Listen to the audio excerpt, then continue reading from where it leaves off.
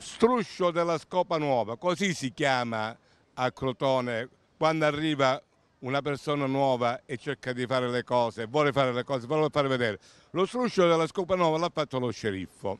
Lo sceriffo è il, eh, il nuovo comandante dei vigili urbani, perché i primi giorni della sua attività eh, si facevano molte, si controllava il territorio, adesso siamo alle 11.10 di vicino al comune perché siamo sul corso principale, guardate quante macchine in doppia fila e c'è un poveraccio che è stato chiuso che sta suonando il clacson per dire, per dire appunto che, la, eh, che, non ce la fa più ad essere stato bloccato. Lo struscio della Scopa Nuova. Dove sono i vigili urbani? Che fine hanno fatto?